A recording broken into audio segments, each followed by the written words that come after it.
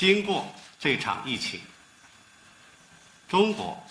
同世界绝大多数国家的关系，非但没有受到消极影响，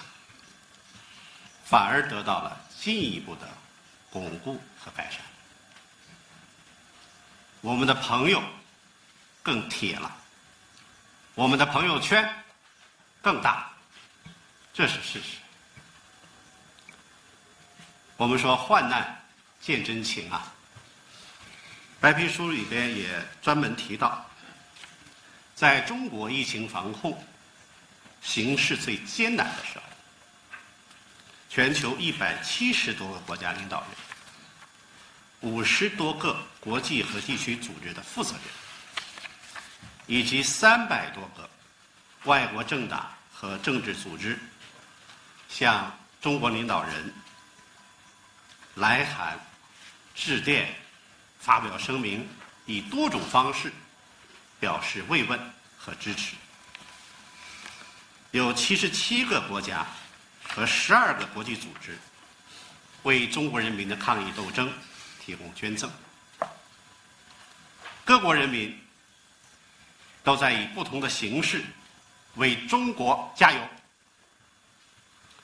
我们不会忘记。这份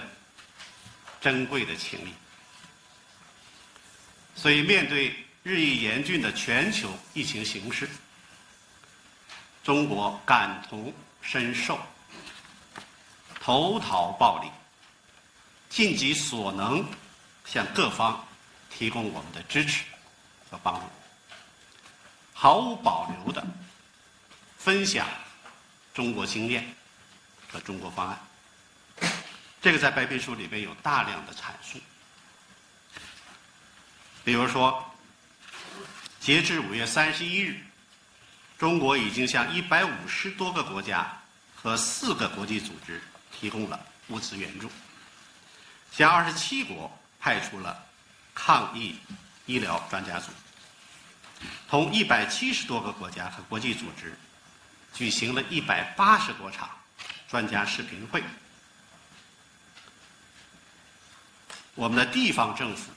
企业和民间机构，包括个人，也积极行动起来，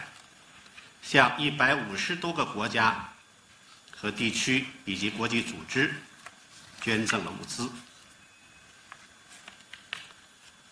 同时呢，我们还为世界各国在华商业采购尽可能的提供便利。